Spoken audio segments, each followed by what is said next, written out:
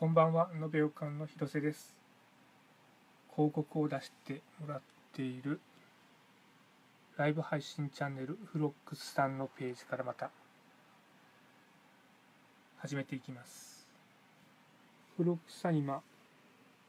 いいねが53ですね、徐々に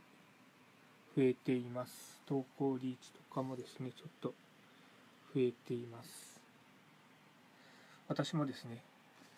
あの久しぶりに今日また動画を1個上げたいかなと思っております。で、今日上げる動画はですね、えー、っと、どれだ？あ、わからんなったかな。えっと、一つですね、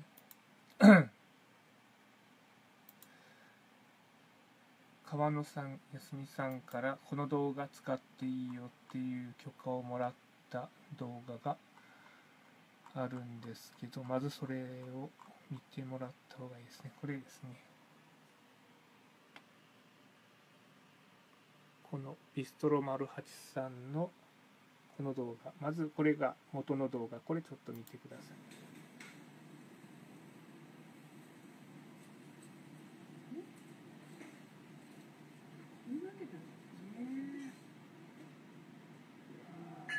毎朝欲しい。好きな人はね。というような動画です。これ短い動画なんですけど、いや美味しそうだなと思って、で、お店の PR にもなるのかなと思って、川野さんにお願いして、えー、と掲載許可をいただいて、まあ、このまま、あのダウンロードして YouTube にアップでもよかったんですけど、なんかまあ、ちょっとだけ一手間入れようかなと思ってですね、今日、まあ、ムービーメーカーを使ってですね、ちょっとだけ変化をですね、加えてみました。その動画が、まあ、このムービーメーカーからちょっと見てみましょうか。完成動画がこちらですね。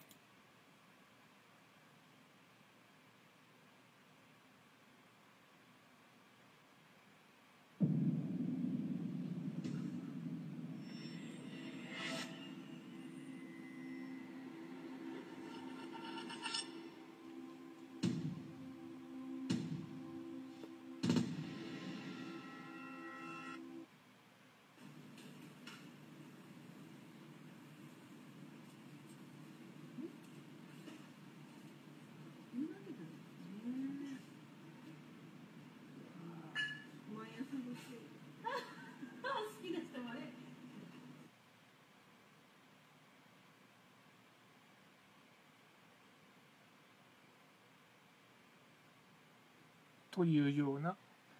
動画にしました。まあ、元は変わらないんですけど、まあ無料素材でさっきのカウントダウンのところですね、この、これですね。これはあの無料素材素材のところからあのもらってきて、で、頭にちょっとタイトルを、丸橋さんのタイトルを入れて、で全体をちょっとですねあの豪華にしたというかちょっとじれったくしたというかそんな感じになってます、まあ、これであればもうあの別に特殊な加工もしなくてですねあの集めたものを並べていくだけっていうので、えー、と動画ができるのであのこのムービーメーカーだったら皆さんのパソコン、Windows 使っている方だったら皆さん入っていると思うので、これを使ってですね、あの制作できると思います。短い動画であってもなんか前とか後ろにちょっと装飾することでですね、まあ、ちょっとでも見栄えが変わってくるのかなと思うのでですね、試してみてください。